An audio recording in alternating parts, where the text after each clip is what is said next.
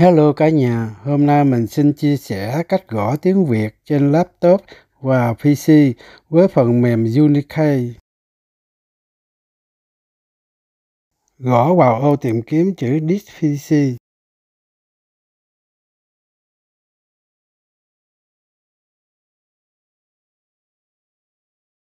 Click vào bên phải cửa chữ Disk PC.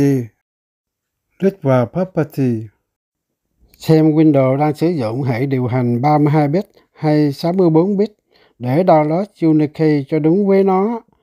Máy đang chạy 64 bit. Muốn gõ tiếng Việt có dấu, cần download phần mềm Unikey. Phần mềm gõ tiếng Việt rất thông dụng. Vào trang web ở ô tìm kiếm gõ chữ Unikey.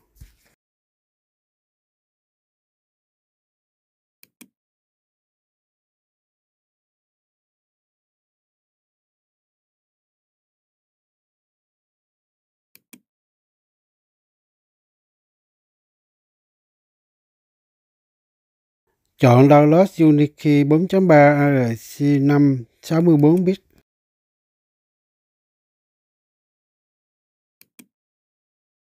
Máy đã download Unikey ở dạng file nén. Bây giờ mình phải mở nén ra bằng WinRAR hay WinZip.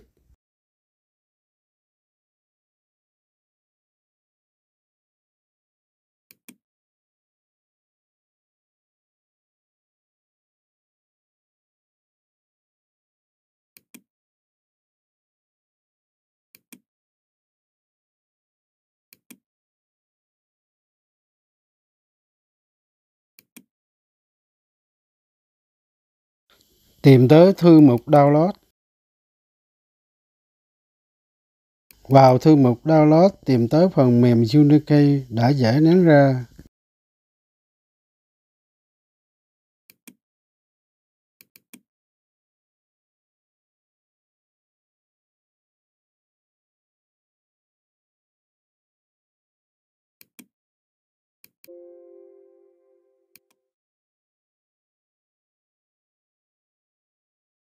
Mình chỉnh kiểu gõ Vini.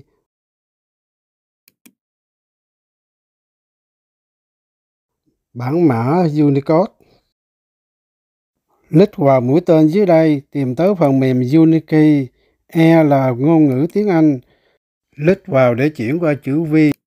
Phải chú ý chỗ này rất quan trọng, để chữ V mới gõ được tiếng Việt có dấu, còn chữ E gõ cho tiếng Anh. Bây giờ mình mở Microsoft Office Word để gõ tiếng Việt theo kiểu Winnie.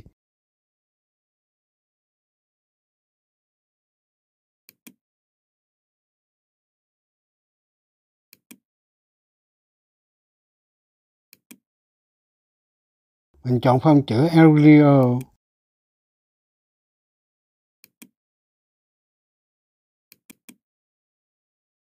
Và mình chọn phông size, cỡ size nào mình thích. Bây giờ mình gõ thử kiểu gõ vừa ni chữ thường và chữ hoa.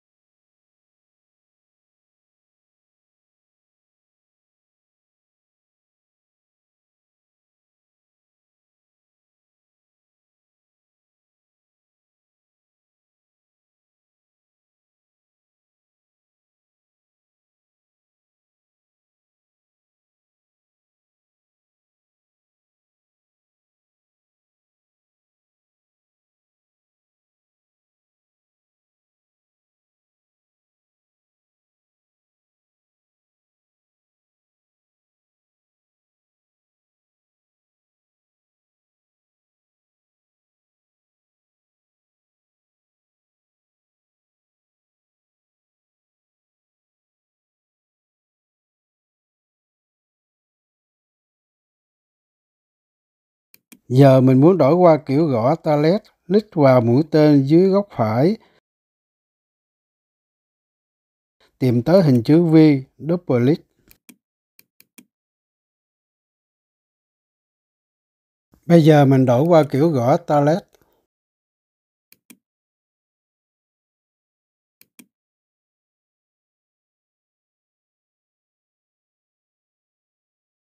Còn đây mình gõ theo kiểu gõ talet, chữ thường và chữ hoa.